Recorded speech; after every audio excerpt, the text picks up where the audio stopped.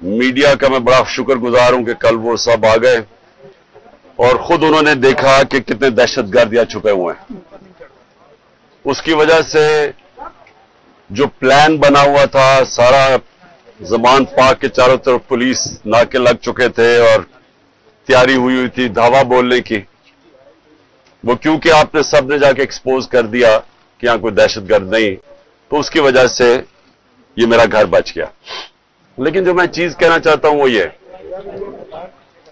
कि गवर्नमेंट को नाम लेना चाहिए। जब आप कहते हैं ना कि 40 दहशतगर्द तो आपको तो पता होगा 40 दहशतगर्द तो उनके कोई नाम तो बताएँ वो कौन है वो लोग? क्योंकि इसी तरह जो इनका प्लान था, मैं अभी आपको बता दूँ। इन्होंने जिस तरह मेरे घर के ऊपर पहली दफ़ा दावा बोला था सारे घर को तोड़ फोड़ कर दी और ऊपर क्लेस्टर ले गए और छोड़ के जी क्लेस्टर मिली और पता नहीं कोई और कोई बोतलें भी दिखाई कि जी वो कोई वो पेट्रोल बम थे। तो किसी, अब यहाँ कोई आदमी नहीं था तो किसको पता कि वो यहाँ अगर इसी तरह का दावा बोल देते और उसके बाद ये चालीस लोगों को यहाँ बैठा देते और कहते, देखिए जी, दहशतगर्द तलब हो गए। मुझे एक के ऊपर सबसे ज़्यादा अफसोस है, वो मेरा बहुत पुराना हमारी पार्टी की, जिसने बड़ी जान मारी आमिर क्यानी की। तो मुझे बड़ा अफसोस हुआ उसके जाने का। लेकिन इनके ऊपर बहुत प्रेशर है। और हर कोई प्रेशर नहीं ले सकता। तो ये मेरे या मैं अपने लोगों को भी कहता हूँ कि उनको कोई बुरा भला ना कहे। जिस तरह का प्रेशर पड़ा हुआ है आज, इस मुल्क की तारीख में कभी लोगों के ऊपर ऐसा पॉलिटिशियन पे प्रेशर नहीं पड़ा। पकड़ के लोगों जेलों में डाल रहे हैं।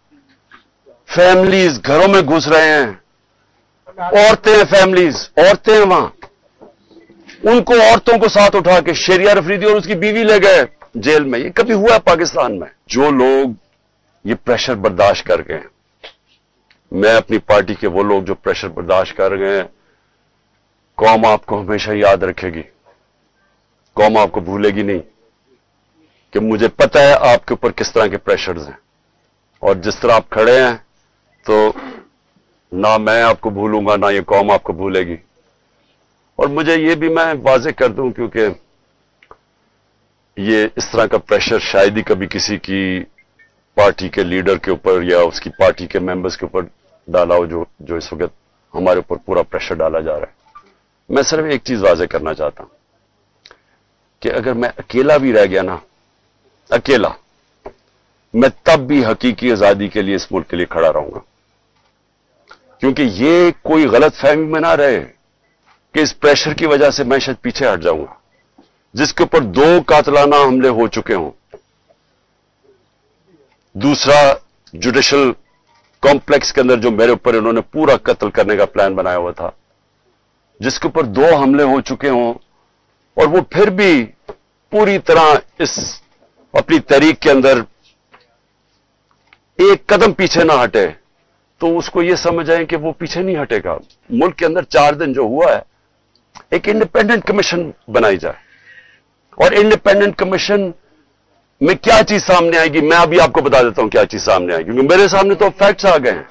हम आपको सबूत देंगे कि कैसे प्लान करके लोगों को लोगों को हमला करवाया गया है फौजी इमारतों के ऊपर।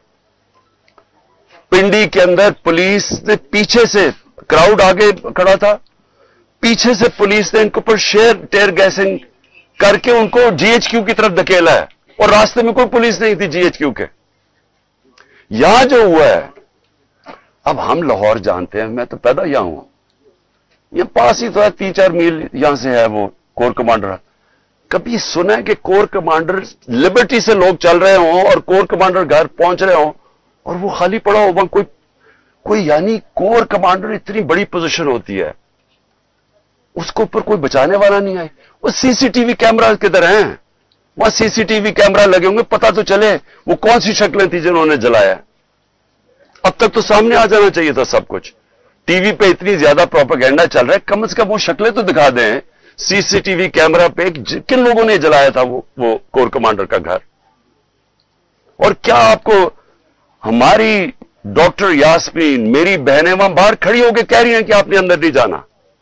कौन था जिसने अंदर उनको किया? है कौन अपनी फौज से लड़ता है, मुझे बताएँ। अगर फौज से लड़ेगा तो क्या मुल्क ही हारेगा ना? कभी कोई लड़ता है? ये जो सारा कराया जा रहा है, जो उकसाया जा रहा है, इससे किसको फ़ायदा होगा? सिर्फ़ ये पीडीएम को ही फ़ायदा है ना? मुल्क की तो जमहूरियत भी तबाह, साफ़ और शफाफ इलेक्शन के अलावा। जो भी रास्ता लोग है, वो पाकिस्तान की तबाही है।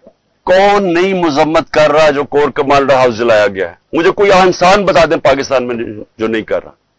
यानी वो पुरानी इमारत को जलाना, यानी इस तो ये जान के जो हमारे ऊपर डाला जा रहा है, पहले हमारे से पूछें कि कभी हमने, कभी इमरान खान ने सत्ताईस साल में कहा है कि जनाब, जलाओ, घराव करो। हमेशा पुरमन एहतजाज का है, कानून और आइन के बीच में रह के। ये मेरा सत्ताईस साल का है। भाई जब मुझे गोलियाँ लगी हैं, तब तब तोड़फोड़ नहीं हुई, तब जलाओ नहीं किया। मेरे खिलाफ है कौन? इनको तो छोड़ देना पीडीएम को, ये तो इनकी तो हैसियत ही नहीं है। आज देखें, मेरी मेरी उनसे कोई लड़ाई नहीं है। गुस्सा उस तरफ़ से है, वो मुझे अभी तक नहीं पता क्यों। ये आप यकीन करें कि मुझे नहीं पता क्यों? क्योंकि मेरे से मेरी उस तरफ़ कोई लड़ाई नहीं है। कि एक साल से पार्टी को खत्म करने की कोशिश की जा रही है। वो पार्टी और मज़बूत होती जा रही है, वोट बैंक और बढ़ता जा रहा है। अब वो इधर आ गए कि खौफ फैलाना चाहते हैं। लोग अपने ऊपर मुश्किल बर्दाश्त कर लेते हैं। लेकिन घर की औरतों के ऊपर कोई नहीं बेचारा टॉलरेट कर सकता। मुझे जो तकलीफ़ हुई, मुझे कोई तकलीफ़ जेल में जाके जो भी होता है, गोलियाँ भी लगी। लेकिन मेरी बीवी अकेली घर में। दो दफ़ा इन्होंने दावा बोला, एक दफ़ा वो अकेली, और दूसरी दफ़ा नैब आके उसको अरेस्ट करने के लिए आगे यानी बात पुलिस वारंट निकाल दिए किस चीज़ के ऊपर? कि वो ट्रस्टी है। ये आज तक दुनिया में नहीं हुआ। ट्रस्टी को ना कोई पैसा मिलता है ना तनख्वाह मिलता है ना कुछ होता है। वो ट्रस्टी होने के ऊपर एक, एक और ट्रस्टी भी किसका? अलकादर। अलकादर का उसका है क्या? कि सीरत नबी के ऊपर रिसर्च करनी है। यानी वो यूनिवर्सिटी है जो बच्चों को नबी सल्लल्लाहु अलैहि वसल्लम की लीडरशिप क्वालिटी से खड़ा करना है। उसकी ट्रस्टी होने के ऊपर उसके ऊपर उन्होंने वारंट डाल दिया। ये, कभी ऐसे नहीं हुआ।